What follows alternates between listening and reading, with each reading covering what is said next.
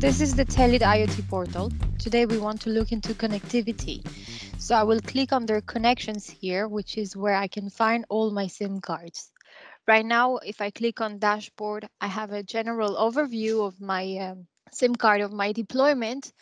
Right now I have 357 SIM cards connected to my portal. 131 are activated and 11 SIMs are in sessions, so they have a session open right now.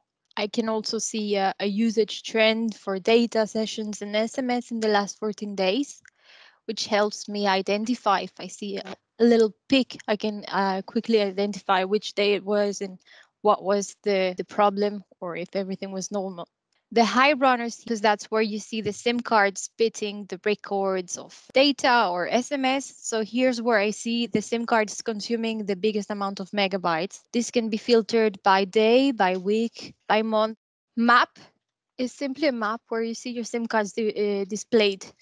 So as I said, it's based on cell ID, so it might be a little bit inaccurate, but when you zoom in, you can always have the, the SIM cards displayed and little dots and you can always reach out the details page of that particular SIM card. If I want to see the details of a particular SIM card, I can click on the blue eye next to it. So now I reach the details of the SIM card and from this page I can see on what IP it connected the last time, if the status of the SIM is activated, what's the APN, where the SIM is located, I see the IMEI number, the number of the device where the SIM is connected, the ICC ID, so the identification number of the SIM card. Uh, this number here, the MSISDN would be like the phone number of the SIM.